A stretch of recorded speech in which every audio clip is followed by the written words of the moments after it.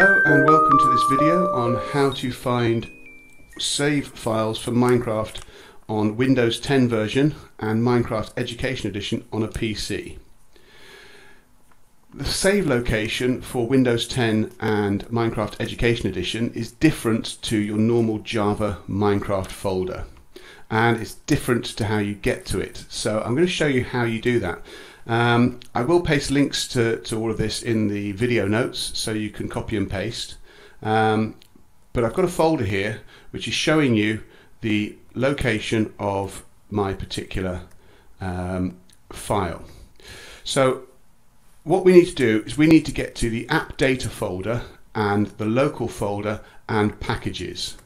So the easiest way to do that is to type this string directly into a Finder window or a, a, an Explorer window on PC and you will then be presented with all of the ranges of packages that link to all sorts of different bits of software. So be very careful when you're in here because deleting something could have a disastrous effect on your PC.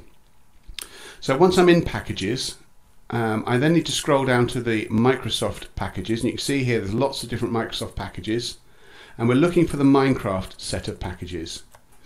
You can see here there are two Microsoft.Minecraft packages. There's one there called Education Edition and one there called UWP. Uh, you can see why I haven't typed these in myself because they are a very uh, difficult string of characters to remember. So it's much easier just to go to your packages folder and then browse from there once you're inside. So for Windows 10, um, we're looking for the Microsoft.Minecraft UWP folder.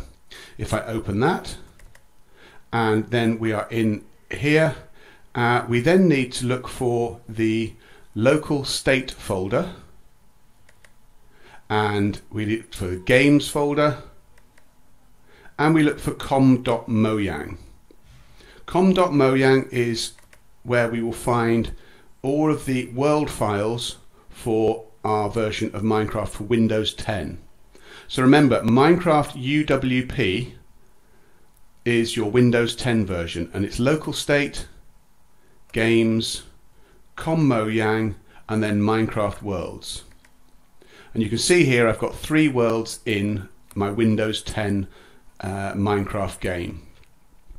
So when you do a file conversion from Java to Bedrock, you're going to need to paste your converted world save file into here in order to be able to access it in Windows 10 version.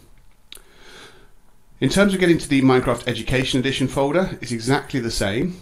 We go back to Packages, and this time we go to Minecraft Education Edition, same local state, same games, same com Mojang, and then Minecraft Worlds in there. And as you can see, I haven't got any saved files yet in my Minecraft Education Edition on this PC. To get to that address, remember, if you come into your um, Explorer window and you right click on the uh, drop down menu there and click Edit Address, it will show you the full address of your Minecraft Worlds folder. If you're making shortcuts to things, um, as I have on my desktop, then you could easily do that. For example, I often make a shortcut of my com Mojang folder. If I drag that out whilst holding down the Alt key on my keyboard, you'll see there it's not going to move it to my desktop, it's going to create a link on my desktop. So if I create a link on my desktop, I click OK, and I'm going to rename that file com Mojang, not shortcut. You can rename shortcuts, it's not going to make any difference. Com Mojang um, EE folder for Education Edition. And then when I double click on that at any time, it'll take me straight into my Minecraft Education Edition folder. So I can quickly get access to resource packs, skin packs, Minecraft worlds, etc. If I want to do the same for the other version of Minecraft, the Windows 10, then I just simply scroll down and find that version here, open it up, open up my local state, open up my games, click on it and hold down the Alt key whilst I drag, put it on my desktop, click OK, and again I'm going to rename that shortcut. Rename the shortcut, it does not rename the original folder remember, it only renames the shortcut. shortcut. I'm going to call that Win 10 version.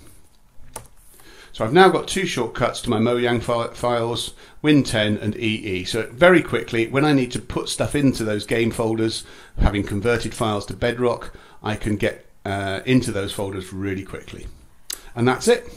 Thank you very much for watching. I will post links for those addresses directly into the uh, description so you can pick them up from there. Okay, thanks for watching.